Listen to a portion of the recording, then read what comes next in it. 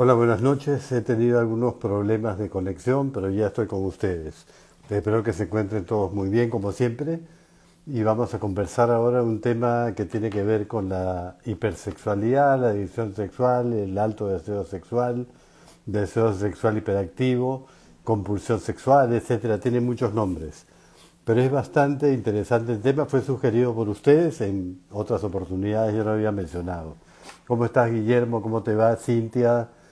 Espero que estén todos muy bien. Eh, Pérez Segovia, que no veo tu nombre por acá, Pili. Y como les digo siempre, tenemos que hacer un programa divertido, compartido, con ideas, con aportes que ustedes puedan tener para enriquecer el programa con experiencias y con conversaciones. ¿no? Algunos autores, gracias Guillermo, un placer también. Eh, algunos autores, por ejemplo, prefieren usar el término adicción sexual otros hipersexualidad, otros conducta sexual compulsiva, ¿no? O variados son los nombres que hay. Pero en general cuando una persona es adicta tiene una serie de características o comportamientos, por ejemplo, el adicto al alcohol, a las drogas, que cuando no consume eh, ese producto se siente mal, siente fiebre, náusea, malestar, etc. ¿Cómo estás, Cintia? David, ¿cómo estás? ¿Cómo te va? Alonso, qué gusto de verte también por acá, Pablo. Eh, el domingo pasado no estuviste presente y estaba muy interesante el tema. Entonces el sexo por sí solo no genera adicción como puede generar el tabaco, la marihuana, el alcohol, las drogas, etcétera, porque es una necesidad fundamental de nosotros, es algo innato, pero no es una necesidad básica, es decir, no te mueres por no tener sexo, eso lo digo siempre y es verdad. O sea, en el sexo no se libera la misma cantidad de dopamina que se genera con el consumo de drogas o el alcohol. O sea, difícilmente va a generar lesiones o algún problema en el lóbulo frontal o prefrontal, como puede generar la cocaína, por ejemplo, o la heroína. Este tipo de situaciones no pasan acá. Pablo, buenas noches. Pili también, ya lo saludé. Entonces es importante tener en cuenta siempre esto, ¿no? O sea, que el sexo no te vas a morir si no tienes sexo y si generas dopamina va a ser en una medida realmente razonable. Oleg Joyster, ¿cómo estás? ¿Cómo te va? Entonces la adicción sexual no es reconocida como un trastorno en el manual diagnóstico de enfermedades mentales ni en el manual de sexología, en el MDS, ¿no? 3. Entonces esto no está sucediendo. Se considera, por ejemplo, el DSM-5, que es el versión, la versión psiquiátrica de la Sociedad Americana de Psiquiatría tiene muy ordenadas sus patologías y no está considerada como una compulsión la hipersexualidad. Ellos la llaman adicción sexual. Hola Pedro, ¿cómo te va? Entonces, es tiempo que no te veía. Porque una compulsión es algo que no te brinda placer, sino más bien te causa sufrimiento, no te da placer de ningún tipo. Y en el caso de la sexualidad, que sería un deseo sexual hiperactivo o bastante alto, produce placer, produce beneficio, no, no te produce sufrimiento ni malestar. Entonces, cuando hay una fuerte interrupción, digamos, del deseo sexual producto de un pensamiento o un estímulo físico, no hay posibilidad, o interno, por ejemplo, o externo, cuando una persona no tiene la posibilidad de poner un freno a este tipo de estímulos, se considera que ha perdido el control sobre su respuesta sexual, sobre el deseo. Entonces el acto sexual, ya sea con una persona o masturbatorio, es indispensable para esa persona que tiene alto deseo sexual. Es necesario en todo momento, independientemente de cuál sea la situación. Es decir, en cualquier situación que esté, él va a querer ejercer la función sexual, ya sea consigo mismo a través de la masturbación o con otra persona. Incluso si resulta no conveniente realizarlo, él no se da cuenta de que hay límites, no puede controlar los límites y no se puede contener. Y va a ser perjudicial porque puede tener incluso eh, alguna situación penal por ejercer la función sexual sin consentimiento, porque a él le provoca realmente. O sea, no tiene un freno, no tiene un control sobre su fisiología, sobre su eh, función sexual. Y responde de cualquier estímulo, aunque no sea de orden sexual, él lo va a interpretar y lo va a manejar como si fuese algo relacionado con la sexualidad. Entonces se ha propuesto el término como un trastorno de hipersexualidad, como una nueva categoría dentro de las enfermedades en sexología. Es una categoría diagnóstica, pero no se llegaba a concretar en el DSM-5 de la Sociedad Americana de Psiquiatría, pero sí se considera en otros manuales diagnósticos en sexología la adicción sexual o la hipersexualidad. Los criterios diagnósticos para poder diferenciar o poder determinar, mejor dicho, que hay una alteración a nivel de deseo sexual y de frecuencia excesivamente alto, que la persona siempre quiere tener actividad sexual, tiene que estar presente durante los últimos seis meses que ha ejercido la función sexual la persona. O sea, no es que a veces tengo muchas ganas y otras no. Y tiene que ser recurrente en el tiempo, tiene que durar seis meses y que comprende fantasías sexuales recurrentes. O sea, constantemente está fantaseando o está imaginando o está evocando situaciones intensas de sexualidad que van a afectar o van a generar un deseo sexual apremiante, que tiene que ir a resolverlo o a solucionarlo, así como conductas sexuales, aunque no esté en un ambiente permitido. Entonces la persona tiene ganas y tiene una frecuencia sexual excesivamente alta. Solamente está pensando en tener sexo, esto pasa en mujeres y hombres. Pero tiene que tener también una asociación entre cuatro criterios que son diferentes. O sea, la cantidad de tiempo, por ejemplo, la cantidad de tiempo que dedica a una actividad sexual es excesivamente grande. Invierte muchísimo de su tiempo diario, cotidiano, en pensamientos o acciones sexuales, ya sea en consumir pornografía, en fantasear, en tener eh, actividad sexual con su pareja o quiere tenerla, y eso está interfiriendo en la planificación y realización de sus conductas sexuales, porque no las planifica, no quiere esperar, quiere una satisfacción inmediata. Esa persona, por ejemplo, hay una posibilidad de tener sexo con alguien o de masturbarse y no es capaz de postergarla. Es como cuando hay una afectación en el lóbulo frontal y tú no puedes medir cuáles son las consecuencias de lo que vas a hacer de tus acciones, sino que respondes a ella impulsivamente, sin ningún tipo de control. Y no te parece mal, porque después te puedes sentir culpable, pero en el momento no lo sientes. Entonces todas estas fantasías, deseos y conductas sexuales repetidas van a afectar tu estado de ánimo. Va a hacer que tú, por ejemplo, tengas extremos de euforia, de placer, como si hubieras consumido esta dopamina excesivamente alta, como cuando hay casos de drogas o alcohol, y después te puede generar ansiedad, depresión, aburrimiento, y eres insaciable, vas a estar irritable porque nunca vas a estar satisfecho. Tienes actividad sexual, pero después apenas terminas quieres más. O sea, pasa tu periodo reflectario y quieres seguir pensando en que el sexo es muy importante. Entonces estas fantasías, deseos y conductas sexuales repetidas se presentan en situaciones que realmente te causan estrés. Porque tú, eh, la persona que tiene este tipo de trastorno de hipersexualidad es consciente del trastorno que tiene, y, pero no puede controlarlo, sabe que no debe hacerlo, que tiene que controlarse, que debería controlarse y debería pensar en otra cosa, pero no puede hacerlo. Entonces esto genera estrés, además de la depresión y la ansiedad después de haber tenido la actividad sexual. Es decir, cuando ya acabó, en el caso del hombre eyaculó, tuvo orgasmo, ese deseo sigue. Disculpen, lo mismo pasa en el caso de la mujer.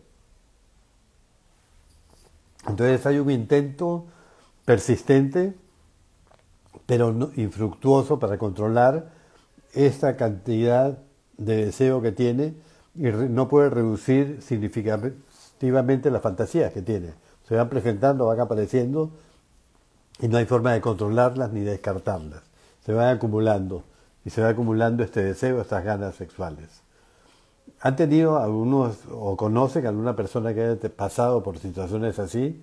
Porque puede darse también por periodos de tiempo, en una etapa de la vida, puede presentarse a cualquier edad, pero generalmente se mantiene a lo largo del tiempo y la persona no puede cambiarlo.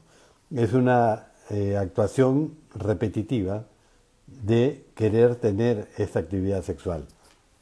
Entonces incluso se exponen a situaciones de riesgo.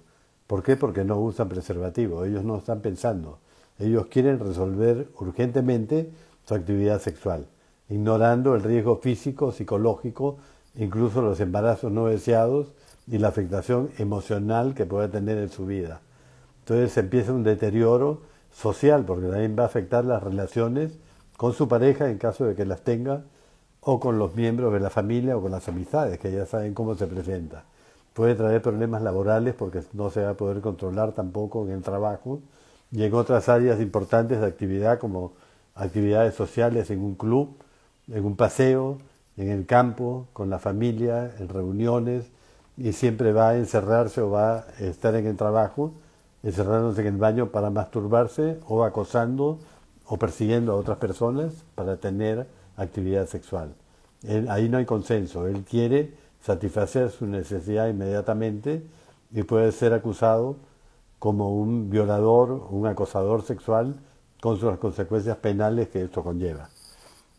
Esto también se da en mujeres, es más frecuente en los varones. Sí, se da en ambos sexos. En el hombre se llama satiriasis también y en la mujer se llama ninfomanía. Y está relacionado con el deseo y la cantidad de veces que la persona tiene actividad sexual. O sea, también hay un exceso de fantasías, un exceso de fantasías, deseos, conductas sexuales no debidas a efectos psicológicos directamente, como por ejemplo con un efecto de una sustancia que haya consumido. Hay personas que consumen drogas exceso de alcohol y se presenta esta hiperactividad sexual.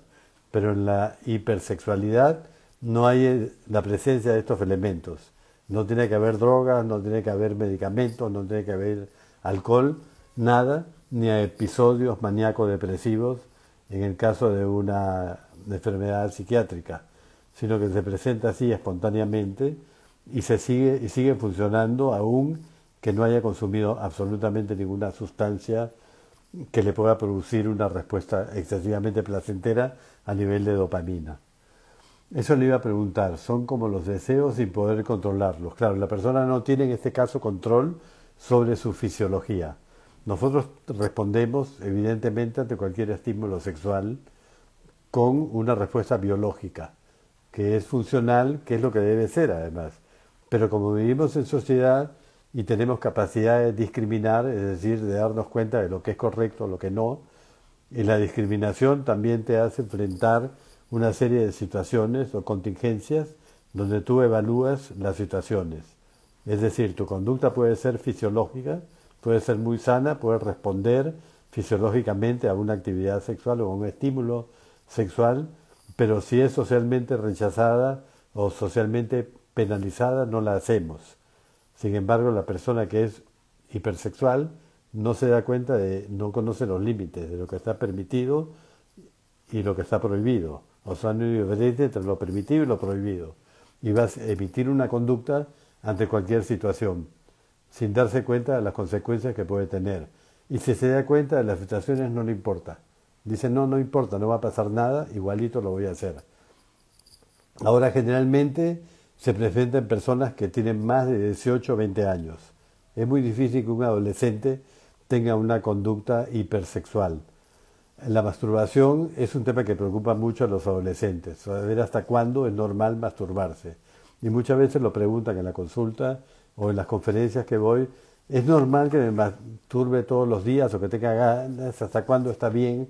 O sea, es como pedir permiso para saber con qué frecuencia se puede masturbar pero la frecuencia en la adolescencia siempre o tiende a ser generalmente alta.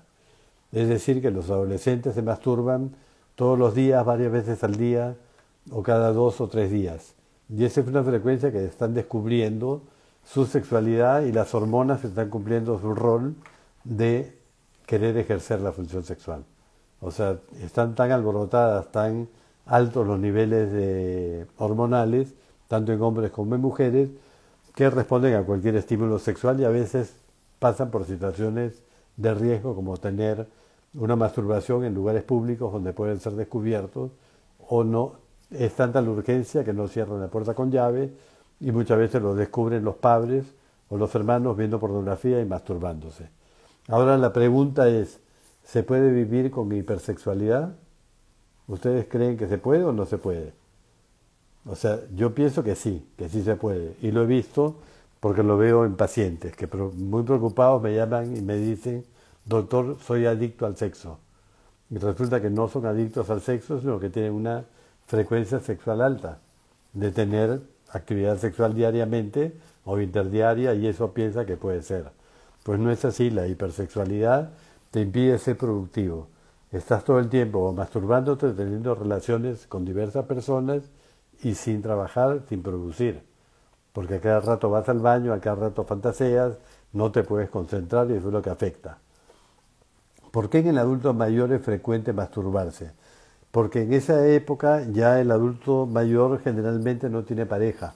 O sea, está viudo, está divorciado o, eh, nunca se casó. Entonces no tiene tampoco posibilidades de encontrar pareja. Acuérdense que la sexualidad, los adultos mayores viven una miseria sexual. Es decir, no se sienten deseados, no se sienten atractivos, no quieren correr riesgos de enfrentarse a una pareja, tienen inseguridades porque ya no funciona como cuando eran adolescentes. Entonces, ¿qué hace esto? Que aumenta la única posibilidad de satisfacción sexual que es la masturbación al estar solo. Depende mucho de cómo haya vivido su sexualidad, del estado civil que tenga, de la relación que tenga con su pareja. Pero si esto no funciona, él va a recurrir a la masturbación. Los picos más altos de la masturbación se dan en la adolescencia y disminuyen después en la juventud, en la edad adulta y después en el adulto mayor aumenta nuevamente. Pero es por eso, por las pocas posibilidades que tienen de conseguir pareja y porque la sociedad da por sentado que no tienen necesidades sexuales. Y mucha gente que está incluso en, los, eh, en las casas de retiro tampoco tienen actividad sexual, hacen juegos, todo, pero no tienen posibilidades.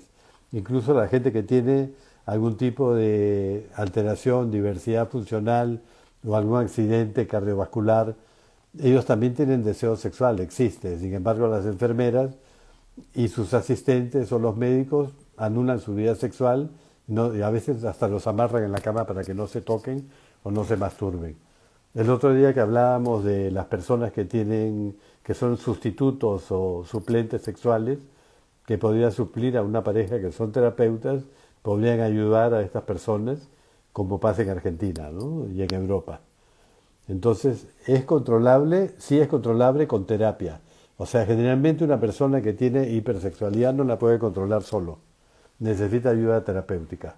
Pero sí hay terapias para manejar ese tipo de actividad. Entonces, ¿se puede vivir? Sí se puede vivir. Pero se puede vivir eh, eh, a manera de reto, es decir, puede llegar a ser un desafío superar esta hipersexualidad o asumir que eres hipersexual y tratar de vivirla. Entonces es un comportamiento con el cual la persona experimenta un nivel de excitación excesivamente alto a nivel de deseo o de frecuencia. Esto es en definitiva lo que pasa con una persona que tiene hipersexualidad. Y esto va a afectar su vida cotidiana y varias áreas de su vida también. La relación de pareja, las relaciones interpersonales que pueda tener. Porque esa persona hipersexual tiene dificultad para establecer relaciones duraderas y dificultad para controlar sus impulsos. No los puede controlar como quisiera. Y esto puede llevar a causarle una serie de problemas.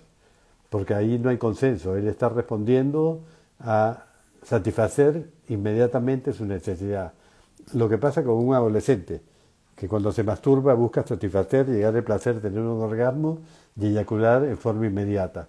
Lo mismo pasa con el hipersexual. Esto va a traer problemas emocionales, problemas afectivos en su relación de pareja, problemas psicológicos, ¿no? problemas laborales, sociales, hasta legales o a nivel de educativo también. Esto es porque el mismo cuerpo le pide o es por lo que uno como ser consume en las redes sociales. Bueno, nosotros estamos tratando, o, nosotros no, los medios están tratando de hipersexualizar a los niños a través del reggaetón, de la música, a través de las películas, de los videos. Y ustedes ven en todos los comerciales, las propagandas, ven en los afiches en la calle, y se trata de la hipersexualidad, o sea, lo que más vende es el sexo, lo que más llama la atención es el sexo. Ustedes ven propagandas de carros y ven una chica en bikini que no tiene nada que hacer con el carro. Hay propaganda de cigarrillos también, hay propagandas de eh, perfumes y todas muestran personas sexualizadas. Y el perfume, en lo que vende el perfume es el sexo. Entonces, este es todo un aprendizaje, una normalización de conductas que son patológicas, las están poniendo como si fuesen normales. ¿Cómo estás Guido, Edith, Giovanna, Sutapia? Yo a todos les mando un saludo grande, Morales también. Y hoy en día hay tantas plataformas, claro, pero todas se dan cuenta que llevan a la parte sexual, la parte sugestiva. Todas las, propagandas que ven en Netflix o, las películas nuevas siempre son escenas sexuales las que salen. O de una pareja, las películas de James Bond, las películas de acción, todo está sexualizado. Obviamente la gente tiende a caer más en esa propaganda y en este aprendizaje. Pero no es porque el mismo eh, cuerpo te lo pida, porque hay una respuesta sexual que es funcional. Es decir, tener actividad sexual hasta saciarte. Pero la persona hipersexual no hay saciedad. O sea, siempre siente que quiere más, que le falta más. Es como que tú, cuando consumes cigarrillos, por ejemplo, y no lo puedes dejar, esa persona no puede dejar el sexo a menos que no esté en terapia. Entonces hay una necesidad constante y muy alta de gratificación sexual. Y puede ser por inseguridad, puede ser por eh, pensar que eso es normal, o puede ser personas que han sido abusadas también sexualmente desde pequeños y piensan que esa es la forma de satisfacerse que es la única que hay. Hola Doc, ya a los 40 es normal tener de una a dos masturbaciones diarias. Puede pasar a cualquier edad, eso depende de cada persona. Hay personas que se pueden masturbar dos o más veces al día. Hay personas que con una es suficiente, hay otras que con cada dos días les basta. Eso depende de cada uno. Y estas frecuencias sexuales que son altas, medias o bajas, o sea, una frecuencia diaria de todos los días, no siempre se produce durante todo un tramo largo de tu vida, sino que hay veces tienes ganas de masturbarte y lo haces diariamente o dos veces al día y en la otra semana no, no lo haces o a lo otro lo haces una vez al día. En la hipersexualidad siempre se mantiene constante durante mínimo un periodo de seis meses.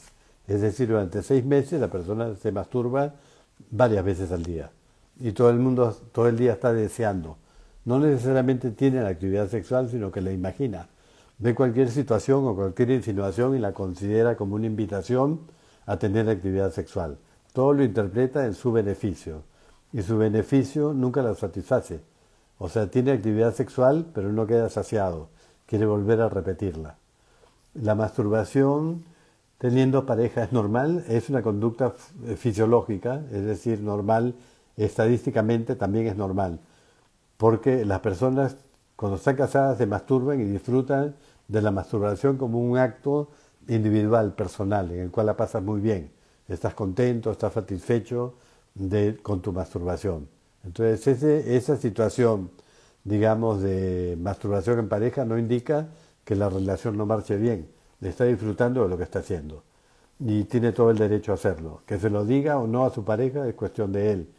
Pero si lo, se lo dijera a su pareja, puede compartirlo y pueden hacerlo también juntos. Pero muchas veces la pareja no habla ni sabe si su otra pareja se masturba. Entonces masturbarse teniendo pareja es algo beneficioso porque es una necesidad personal de cada uno y tienes todo el derecho de disfrutar de esa masturbación. Comunicárselo o no también es tu derecho. O sea, tienes la libertad para hacerlo. Pero sería bueno decírselo para no sentir culpa. El problema sería que te masturbes y no tengas relaciones con tu pareja. O sea, ahí sí hay un problema. Pero si tú tienes una frecuencia muy alta y tu pareja tiene una frecuencia media, por ejemplo, entonces puedes tener actividad con ella una o dos veces por semana y la otra lo haces con la masturbación porque la frecuencia se mide por la cantidad de veces que te masturbas o que tienes actividad sexual. Entonces se pueden intercambiar a veces con tu pareja, a veces solo, pero nunca olvidarte de que tienes pareja y que la actividad sexual se tiene que mantener. No es infidelidad, no estás engañando a tu pareja. Es una actividad, como te digo, en privado, para satisfacerse, que tiene muchos beneficios porque te hace sentir bien, te hace relajarte, descansar. La diferencia con la masturbación y en el coito es que Muchas personas sienten presión por quedar bien o por rendir en la actividad sexual con su pareja, mientras que en el coito no. En el coito tú estás solo y si eyaculas rápido no pasa nada, si pierdes dirección no pasa nada, nadie te va a reclamar ni te vas a sentir mal por hacerlo. Entonces, esa es la diferencia. Pero no es saludable que te masturbes y que no tengas actividad sexual cuando tienes pareja, o que tu frecuencia sea muy baja. Hace poco fui a un examen de próstata, creo que eso desactivó mi eyaculación retardada. ¿Tiene que ver eso? Absolutamente no tiene nada que ver. O sea, la próstata lo que hace es fabricar el semen junto con la vesícula seminal. Ese líquido que va a alimentar a los espermatozoides, que los va a nutrir y que le va a dar la fuerza necesaria para que salgan expulsados con fuerza durante la eyaculación y a la vez para poder reproducirse. Entonces no tiene nada que ver esta eyaculación retardada con, con la estimulación de la próstata. Gracias, Doc. Mi pareja lo sabe. Perfecto, me parece bien. Y ella se masturba, también tendrías que saber si se, se puede masturbar o no. Sí, hace tiempo que no salimos, pero bueno, pronto vamos a tener una reunión para ver ciertos planes. ¿Ok? Entonces, este, es interesante el tema porque muchas veces la persona piensa que la masturbación es acto privado, que no está mal, siente culpas, que no es bueno hacerlo que incluso hay gente que cree que pierde energía cuando se masturba, como si eso te costara, cuando nosotros fabricamos millones de espermatozoides, diariamente, los hombres. Lo que pasa es que también el proceso es muy interesante, porque en los testículos nacen los espermatozoides, ahí nacen, ahí crecen y se fabrican por millones diariamente cuando eres joven, por supuesto, ¿no? Después va disminuyendo, pero siguen fabricándose todos los días hasta que te mueres. Ahora, por eso el hombre tiene capacidad reproductiva hasta cualquier, edad. Esos espermatozoides que salen puros, fabricados dentro de los testículos, suben inmediatamente conforme maduran a un conducto que se llama epidídimo. En ese conducto toman sus clases de natación. Es una academia de natación, aprenden a nadar, maduran y suben por el conducto deferente, que es un conducto que los va a llevar a unirse con la próstata y con la vesícula seminal. En la próstata y en la vesícula seminal se fabrican unas sustancias que es el semen, que tienen los nutrientes que van a ayudar al espermatozoide a salir expulsado con fuerza, a tratar de buscar la reproducción, que es su finalidad, y además le dan nutrientes para que se mantengan y una velocidad y una lubricación a los conductos para que salgan disparados con fuerza en la eyaculación. Entonces, así es como funciona. Y la gente no sabe, la gente cree que los testículos es el semen, no, el semen está después. Y estos espermatozoides pueden vivir dentro del organismo o en la vagina durante hasta 72 horas después de haber eyaculado. Entonces, por eso hay que tener cuidado con el líquido preseminal que se expulsa antes, durante la excitación, antes de la eyaculación, que es como esa agüita de coco transparente, viscosa, que contiene, no, no contiene espermatozoides en sí, pero que puede arrastrar espermatozoides. La función de estas, este líquido preyaculatorio producido por las glándulas de Cooper es lubricar el canal por donde va a salir expulsado, es decir, por la uretra, que es por donde sale la orina. En el momento de la eyaculación la vejiga se cierra para que no salga orina, pero queda un ambiente ácido y tiene que ser neutralizado. ¿Y quién lo neutraliza? El líquido preyaculatorio producido por las glándulas de Cooper. Pero ahí quedaron, probablemente quedaron espermatozoides vivos que no fueron expulsados, que no salen todos. Entonces, en la salida de este líquido que no contiene semen, semen puede salir expulsados algunos espermatozoides que sobrevivieron y quedaron ahí, son arrastrados y pueden entrar en contacto con la vulva y causar embarazo. Es más frecuente la masturbación en hombres o en mujeres. Socioculturalmente la gente miente en las encuestas. Las mujeres generalmente no, eh, socialmente no dicen que se masturban, porque es un término o un concepto mal utilizado, que es como una eh, aceptación social, querer ser aceptado socialmente, ser aceptado socialmente, entonces no dice que se masturban por si acaso. Pero sí, los promedios son similares. Ya en el estudio de Kinsey, en los años 60, demostró que las mujeres se masturbaban y tenían fantasías sexuales y que eran infieles, algo que no pensaba nadie en esa época, y menos lo iban a expresar. pero en estas encuestas, que fue la encuesta más grande que se hizo en respuesta sexual de hombres y mujeres, dio esos resultados.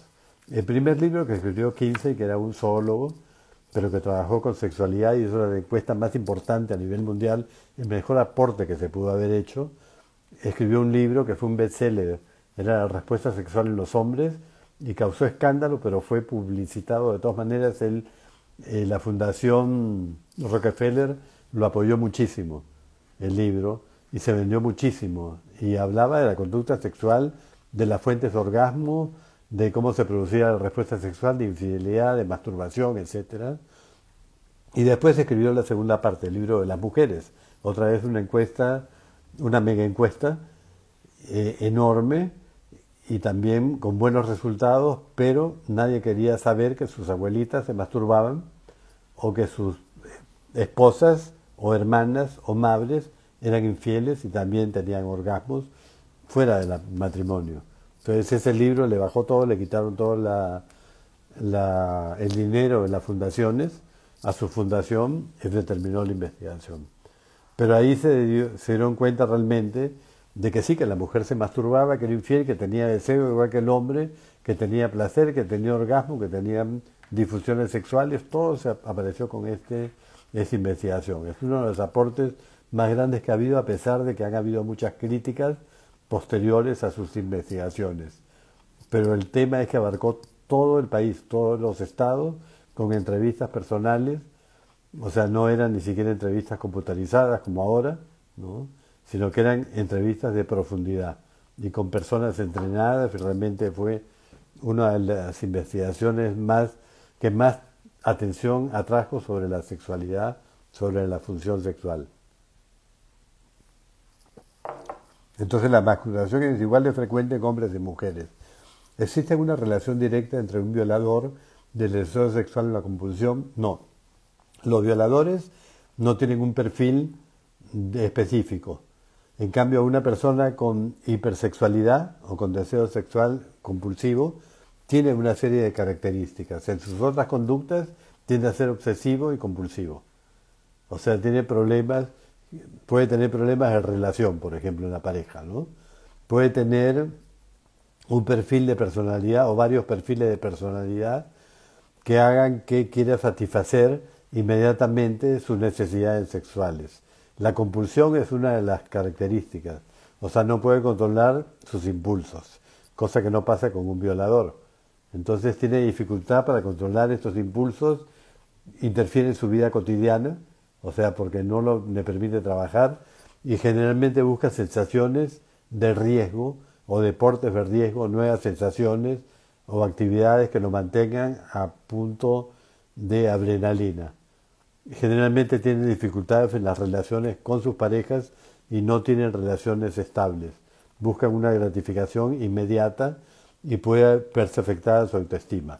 Entonces, esto es lo que sucede con las personas que son hipersexuales, pero pueden ser solteros, casados, no tener pareja, eh, tener novios nada más, pero tampoco son infieles. O sea, hay gente que controla sus impulsos y que eso lo hace a través de la masturbación. Entonces, tiene muchos elementos ahí que intervienen. En cambio, una persona, un violador, no tiene un perfil determinado. Puede ser un profesional, un padre de familia, una persona religiosa, una persona con principios muy rígidos y sin embargo es un violador. O puede ser todo lo opuesto, puede ser un maltratador, un abusador, un delincuente, una persona sin valores, un psicópata, también puede ser un violador. La mujer prefiere la infelicidad antes que masturbarse, creo yo. No, lo que pasa es que les cuesta reconocerse y hay un tabú con la, eh, con la masturbación femenina. O sea, porque siempre recomendamos nosotros que la exploración, autoexploración de la mujer, es importante para conocer su respuesta sexual. Entonces, es lo normal sería que una mujer que no se puede ver los genitales a simple vista, como en el caso del hombre, use un espejo, se pare frente a un espejo, se mire, se toque, se observe. Y que explore su cuerpo, que identifique su clítoris, los labios mayores, los menores, qué es lo que le gusta y que empiece a tocarse, a explorarse para saber después cómo pedirle a su pareja que le estimule. Pero la mujer tiende a no hacerlo y en la mujer es muy importante, más que en el hombre. En el hombre, en la masturbación, el hombre puede aprender a conocer sus tiempos, es decir, para no eyacular rápido. Darse cuenta de que no tiene, lo ideal es que el hombre se masturbe, no inmediatamente para lograr una eyaculación y un orgasmo en forma rápida, sino que disfrute con tiempo, relajado, que se acaricie, se toque no solamente los genitales, sino su cuerpo, que se haga una autoexploración también con la yema de los dedos, tocándose y fantaseando, para que no solo se masturbe con pornografía. Y aprende el hombre a disfrutar. La mujer debe hacer lo mismo. La mujer, así como el hombre conoce sus tiempos para no eyacular rápido, porque no debería buscar la eyaculación urgente para salir de eso, la mujer lo que tiene que hacer es conocerse, conocer su cuerpo para identificar qué es lo que más le gusta, con qué intensidad, con qué velocidad, con qué presión le gusta tocarse, pero después no es solo eso, tiene que hablar con su pareja para explicarle cómo le gusta que la toque. Si no, no va a funcionar, porque si no se lo dice, el hombre no lo va a adivinar. Y lo mismo pasa con el hombre. Cuando el hombre no le indica a la mujer, a su pareja, cómo le gusta masturbarse, en qué parte de su pene le gusta que esté el estímulo, y con qué velocidad y con qué presión tocar su pene, ella lo va a masturbar como ella cree que es. Entonces es por eso es obligatorio esta comunicación de expresar cómo quiero que me toques, cómo quiero que me acaricies, cómo disfruto más y enseñarle a tu pareja a hacerlo. Y ahí está el secreto de la felicidad sexual, o sea, del placer. Si tú te quedas callado, tu, tu pareja te va a acariciar de una manera que supuestamente cree que te gusta, pero realmente no te gusta. Y vas a pasarte toda tu vida con tu pareja sin decirle, sin ser sincero con ella, porque te da vergüenza hablar de sexo. Entonces la mujer también tiene que hacer lo mismo. Cuando la mujer no lo hace, no le dice, mira, yo no llego al orgasmo porque tú me tocas al orgasmo, porque tú no me estimulas, no haces previos, vas directo al grano y no me tocas como a mí me gustaría para poder excitarme, porque la respuesta sexual es un proceso gradual que va desde un estado de estado de cero a un estado de excitación que te puede llevar al orgasmo. Entonces, por eso es interesante. Todas las preguntas que están haciendo están súper interesantes, la verdad, me, me, gusta. Y me gusta que, que conversemos así como conversamos acá naturalmente, igual tiene que conversar con su pareja naturalmente. Hay un tabú con todo el tema, no solamente la masturbación, con todo lo que tiene que ver con el sexo. Entonces, ahora una de las preguntas, por ejemplo, muy comunes también de las personas es, ¿tengo que decirle todo a mi pareja sobre la parte sexual? Entonces no puedes decir todo, porque eso se llama también sincericidio. Tú no puedes hablar con tus parejas de tus experiencias pasadas, o cómo tenías orgasmo, o cómo disfrutabas, o cuál ha sido tu momento sexual, tu mejor momento sexual. No está bien, ¿no? Eso es algo privado tuyo. Y cuando estás con una pareja no puedes hablar del pasado. Entonces ahí es donde se puede pasar la infidelidad, ya que la mujer preferiría la penetración. No es cierto, hay mujeres además que, por ejemplo, nunca han tenido un orgasmo, han mentido a su pareja para que se sienta bien, pobrecito, porque ellas creen que él es responsable del orgasmo, y el hombre también cree que si no llega un orgasmo su pareja por culpa de él, que esos son errores de concepto, pero muchas veces se quedan calladas y pasan su vida sin orgasmos, hasta que se separan y conocen a otra persona que habla o sabe cómo estimularla y le facilita la llegada al orgasmo. Entonces, la infidelidad es por no hablar, por no conocerse y por no expresar cuáles son sus preferencias sexuales. Yo atiendo en terapia emocional con mujeres y ellas me dicen que tienen vergüenza de pedir a su pareja por miedo a que la juzguen. Es verdad, yo dice. O sea, mucha gente tiene miedo y vergüenza de que el hombre se asuste. Y el hombre generalmente tiende, como es inseguro, cuando le habla a la pareja de parejas anteriores, se siente comparado, siente que, que a lo mejor él no es tan bueno como, como su sex y por eso ella no está disfrutando y tiene miedo de preguntar o de cambiar mucho de posiciones por temor a perder la erección. Pero eso tiene que ver con inseguridad sexual. Entonces, el hombre tiene que darse cuenta que si la erección se pierde por un cambio de posición, no quiere decir que nunca más se va a recuperar. Y se quedan callados, tanto el hombre como la mujer, y no hablan. Entonces, ahí vienen los problemas. La vergüenza no debe existir en una relación de pareja. Y todo lo que una pareja haga o quiera hacer es normal, es decir, todo está permitido, todo vale, siempre y cuando haya, los dos quieran hacer lo mismo. O sea, que haya consenso en la relación, en opiniones y que no cause daño a ninguno de ellos. ¿no? Entonces, esa vergüenza de pedir por miedo a ser juzgado es lo que hace que la mujer no converse sexualmente y quede insatisfecha y muchas veces no logra llegar a tener un orgasmo porque su pareja no hace previos, va directo a grano o le estimula en forma que no le gusta y no se lo dice. Y también muchas veces la pareja se queja de que le dice, le dice a mí me gusta que me toques así, pero el hombre no le hace caso y sigue haciendo lo que él cree que funciona. ¿Y qué es lo que él cree que funciona? Lo que él vio y aprendió durante la pornografía, en sus épocas mozas o incluso actualmente. Y sucede que la pornografía no es verdad, todo es una mentira, es una película de ciencia ficción, entonces va a estar él actuando como se supone que cree que debe actuar un hombre, porque no tiene información sexual. Y la pareja dice, a mí lo que me toca es ser pasiva. ¿En qué siglo estamos? ¿En qué época estamos viviendo? Antes la mujer tenía un agujero, una bata con un agujero en los genitales y no se sacaba la ropa, se acostaba en la cama y el hombre tenía que hacerse cargo de todo. El hombre no hacía previos, penetraba directamente por ese agujero y ya está. En esta época no podemos seguir hablando ni pensando de esa manera.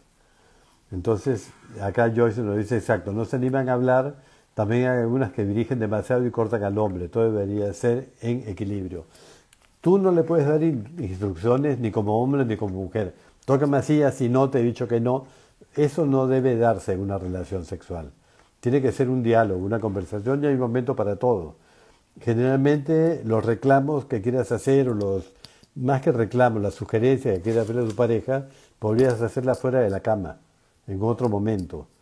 Y no como una queja, no como una orden. O sea, sino decir, cuando me tocas de esta manera me encanta. Entonces, y llevarle la mano y decir, déjame que te muestre. Y también preguntarle, ¿qué te gusta a ti? O sea, ¿te gusta cómo te toco? Y el hombre también preguntarle a la pareja, porque el hombre cree que él tiene que ser experimentado. Y si ha tenido muchas parejas ya cree que así funciona y que a todas les gusta lo mismo. Y yo le decía en un programa anterior que muchos hombres actúan con una rutina de gimnasio con todas las parejas que tienen. Tú vas al gimnasio y trabajas, ¿qué trabajas? Hombros, pecho, brazos, espalda. Tienes una rutina que la sigues igualito. Y hay gente que tiene actividad sexual de la misma manera. O sea, acarician los senos, bajan, besan, acarician los senos, besan los senos, introducen el dedo en la vagina y penetran. Entonces, eso no es. O sea, ¿y dónde quedó lo demás, no? O sea, todo el resto del cuerpo, ¿y dónde quedó la sorpresa, el avanzar con retroceso, el tocariciar partes que no son genitales, el disfrutar de que la persona esté pendiente y dice, bueno, ¿cuándo se va a quedar en la zona que me gusta? Eso es avanzar con retroceso. No ir directamente a la vulva, no meter el dedo en la vagina, sino que pasa por encima de la vulva, por los labios mayores, menores, el clítoris, hasta los muslos, regresa mientras estás besando, toca suavemente, toca con más presión, te retiras, vuelves. Esa expectativa de, bueno, ¿cuándo se va a quedar ahí? Es lo que hace más excitante el encuentro sexual. Igual que la mujer que agarra el pene del hombre lo sacude como si fuese un secador, o un plumero, y no es así, o sea, el movimiento del hombre es repetitivo, es firme, con determinada presión, y siempre con un movimiento que no dañe, que no cause dolor. Pero el hombre tiene que explicarle a su pareja y decirle, mira, me encanta cuando me tocas en la parte baja y le pone la mano y le dice con esta presión y con esta velocidad. O cuando me acaricias y me gusta que me toques más el frenillo de grande que con la otra mano vayas estimulando. O que me toques los testículos. O sea, si el hombre no se lo dice, va a quedar siempre insatisfecho con la masturbación de su pareja. Y lo peor es que el hombre se da cuenta, porque dice, me encanta cuando me toca, lo hace bien, pero yo lo hago mejor, entonces no lo hace tan bien. Pero ¿de quién es la culpa de no hacerlo tan bien? Tuya, porque no le enseñaste. Entonces ahí viene toda la importancia de la comunicación en el área sexual. Y no tienes que enseñarle con reclamos. Además puedes hacer un ejercicio que es muy sencillo. Vamos a hacer una, sesión de masaje erótico y descubrimiento. Entonces empiezas con la yema de los dedos y la palma de la mano tibia, empezar con un lubricante que tibie la mano, que la puedas, no chorros, sino o aceite yoso para niños, acariciar el cuerpo, ir tocando, ir descubriendo, y dime dónde quieres que me quede, y vas tocando todo el cuerpo absolutamente. Y cuando quieras que me quede en un sitio, pon tu mano encima de la mía y vamos a descubrir la intensidad y la velocidad.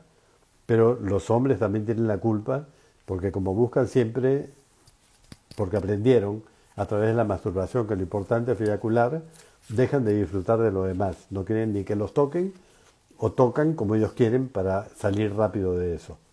La responsabilidad del orgasmo es personal, exacto. Cada uno es responsable de su orgasmo y tiene que asumirlo. No puedes esperar que tu pareja te haga llegar al orgasmo ni pensar que es mala cama porque no te hizo tener orgasmos. Eso es una responsabilidad tuya. Y dentro de esa responsabilidad cabe también enseñarle cómo te facilitaría el orgasmo. Si él va directo al grano, muy poco probable que tengas orgasmo. Entonces tú tienes que ayudarlo a darle información para que te facilite la respuesta orgásmica. Eso tanto para hombres como para mujeres.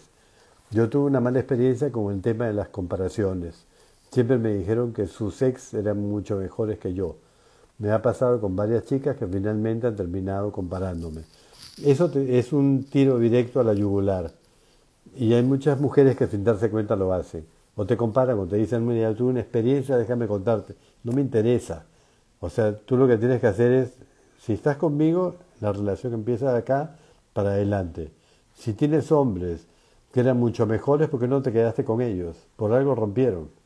Además, una relación sexual no se mide solamente, una relación de pareja no se mide solamente por la parte sexual, sino también por los aspectos afectivos que involucra esta relación. Mi última pareja solo quería su placer, era vivir a grano. Eso es lo malo.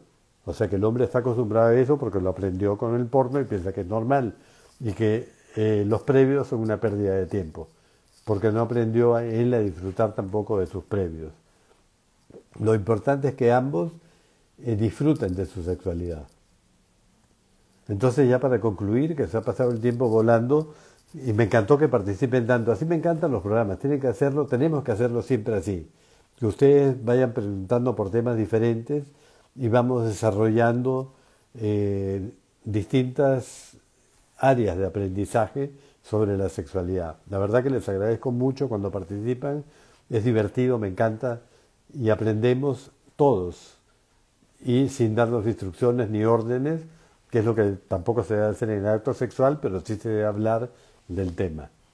Si una mujer habla de su ex, de la pareja actual, es un poco infantil en mi opinión. Mejor explicar, no comparar, no suma.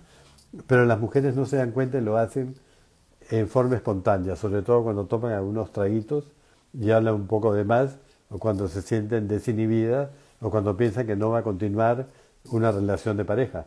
Es decir, que salen esta vez y que después no va a pasar nada. Entonces hablan más de la cuenta y resulta que no era una salida eventual, sino que después se consolida en una relación y muchos hombres nunca se olvidan de eso que escucharon y siempre están inconscientemente pensando en el acto sexual, ¿seré tan bueno como su anterior pareja?